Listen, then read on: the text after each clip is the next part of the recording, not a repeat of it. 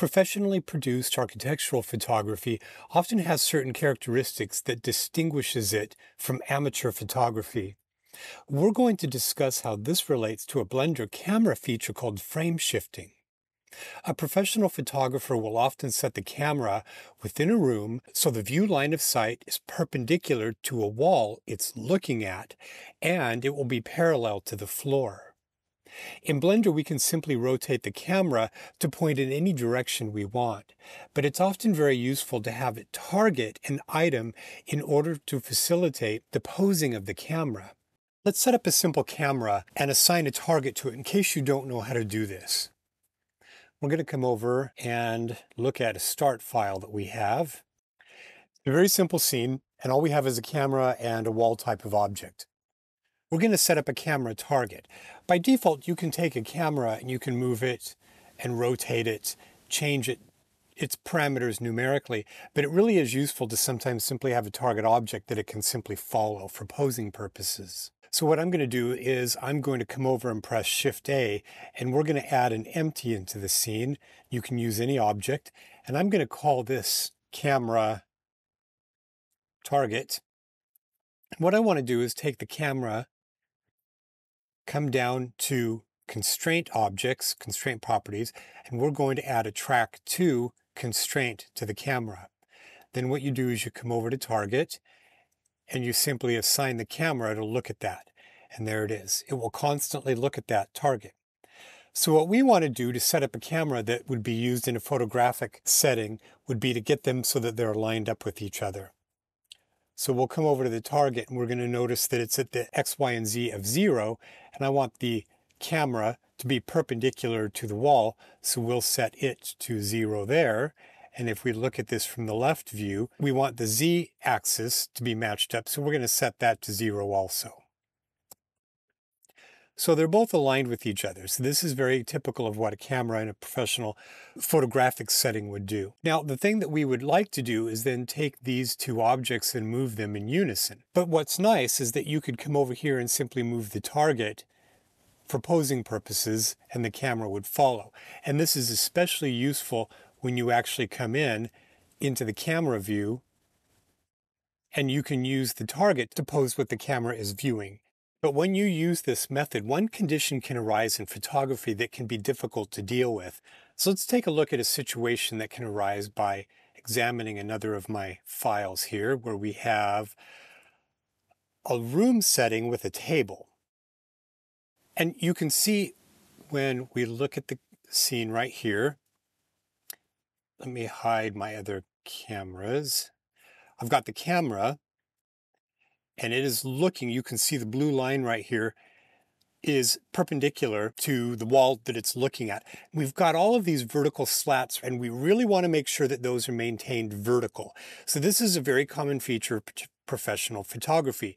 Vertical lines are very vertical or perfectly vertical and horizontal lines are perfectly horizontal and you can see all of those conditions here. It's wonderful for framing.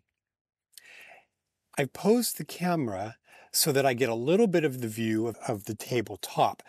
I want that. I want that tabletop to be slightly visible.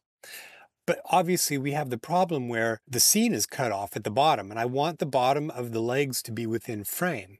So traditionally, what you would think to do is to either move the camera's viewpoint down a little bit. Say, for instance, if we came over to the target itself I could move the target down just a little bit and I could frame the scene to get the bottom of the chairs and the table in frame. But then we've now violated this rule of wanting to maintain the perfectly vertical and horizontal lines. And we have a situation where we can see just slight angles that disturb the composition of the scene. And we don't want that. So the other thing that we could do would be to move both the camera and the target at the same time so that we repose the scene. But now we've got the situation where we no longer see the tabletop. The tabletop is edge on. So this is where this awesome frame shifting feature comes in. I'm going to select the camera and I'm going to come down to the camera icon, the camera data object properties, and we're going to come over to shift. So if I said minus 0.1, look at that it shifts the camera up. And if we look over here, we can see that in fact what it's done is it's shifted the camera's viewport framing down a little bit. So technically what it's doing is it is looking at the size of your render frame, takes the largest value and makes a square out of that.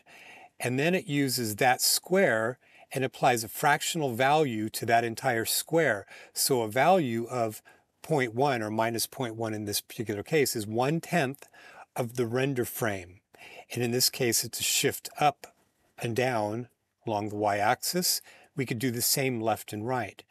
But what this does is it prevents any change in the perspective, and that is what we're looking for. We don't want any change in the perspective, and now we have this composed exactly as we want. So let's take a look at another example in another architectural type of setting. Let's take a look at a situation where we have the camera facing more into the scene from the back, and we have a center table where the range is, etc. And we'd really like it. Let's take a look at the rendering with the camera to be center aligned to this kitchen island. But I'd really like to see more of the left side of the scene so that this appears shifted over to the right just a little bit so we would lose a little bit of what's happening on the right side. So let's come back over and see what happens if we just simply take the target and, and move it over so we get a little bit more of those left-hand cabinets. Again, we've changed and added perspective into the scene in a way that violates our professional photographic rules for interior photography. if you want to think about it in that sense, we've introduced that slight bit of angling. We can see what that looks like. You see just a slight bit of angling to those horizontal lines.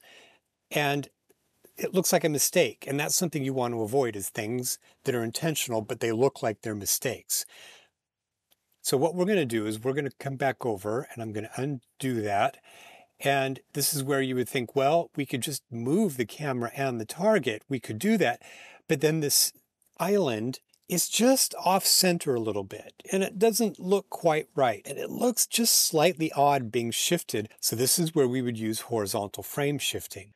So we would come back over here, undo, come back to the camera, come down to Shift X, and you would say minus 0.1, and there it goes. You've just simply shifted the frame over, and we've had no change in perspective. This is really a fantastic feature for architectural rendering.